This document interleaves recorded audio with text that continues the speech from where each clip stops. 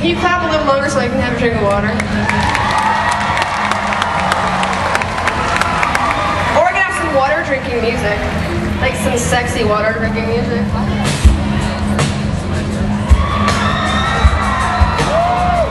It's so hot outside. I simply had to hydrate myself with some water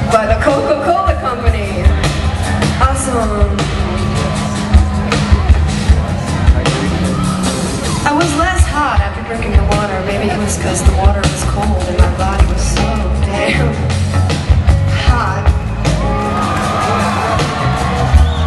And we're over, right? Okay, so this next song is a song that I wrote for my record, Everybody, which is out, been for about a year now. And my little trivia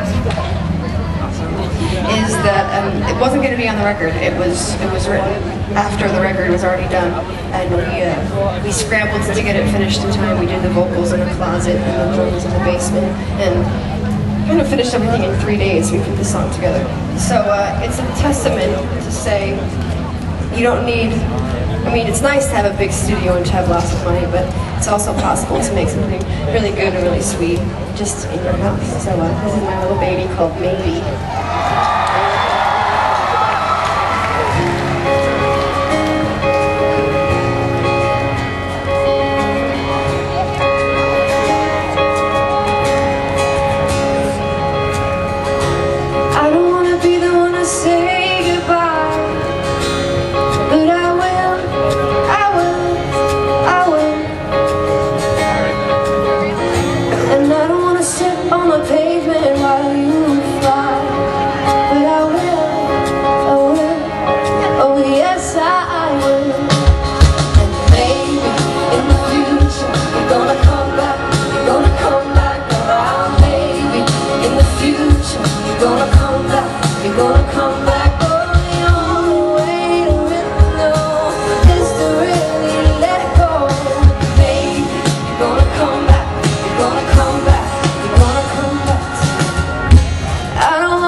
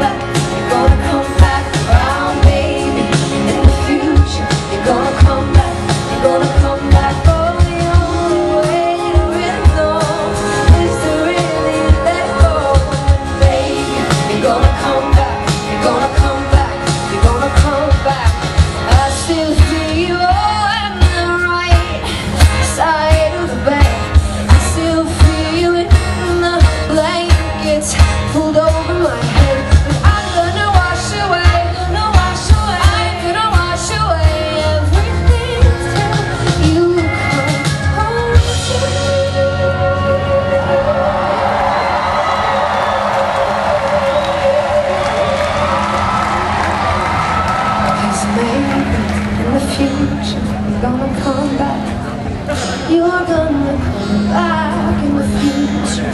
back gonna come back. You're gonna come